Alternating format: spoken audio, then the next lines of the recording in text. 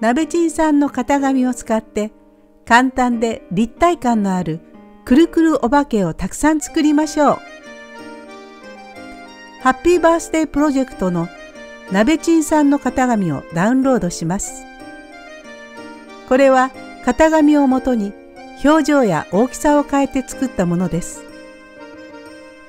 お化けの型紙をコピー紙の4分の1サイズに印刷して作ってみましょう。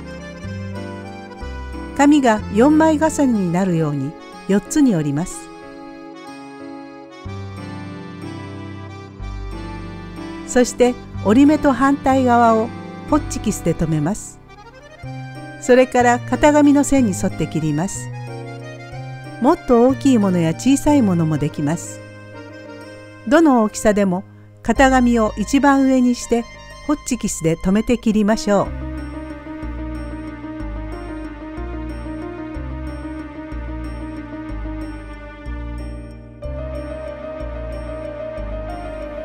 切り終わったらお化けの尻尾がもつれないように気をつけて分けると同じ形のお化けが4つできています。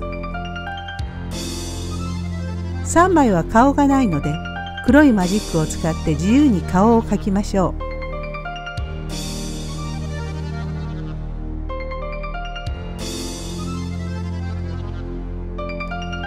右向きや左向きを作るといいです。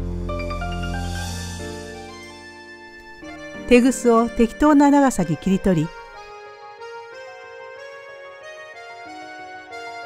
お化けの頭の裏にセロテープで貼り付けぶら下げられるようにしましたプリントアウトする大きさを変えていくつか作りハロウィンの背景の上にかぼちゃなどと一緒に飾るとこんな感じになりました。